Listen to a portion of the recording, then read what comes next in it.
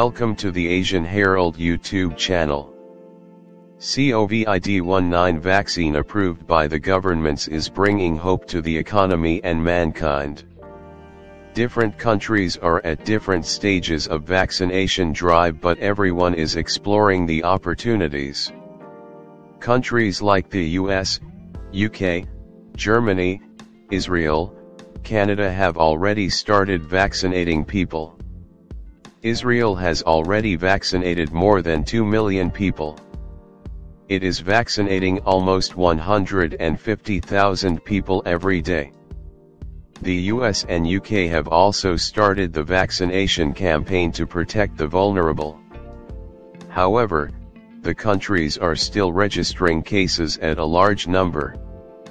There has been news on the side effect of the COVID-19 vaccine as well. Norway reported 23 deaths after taking the dosage of Pfizer vaccine.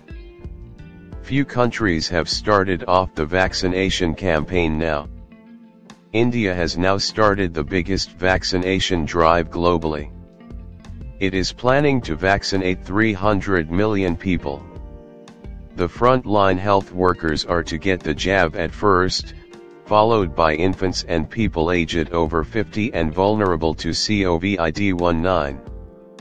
However, in a country like India where the population is 1.4 billion, even at a high rate of vaccination, the entire drive will take time.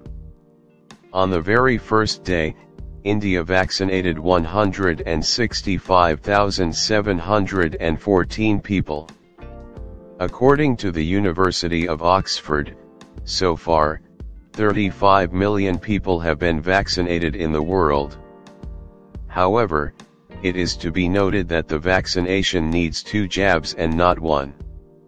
Many other countries are still in the process of approving vaccines.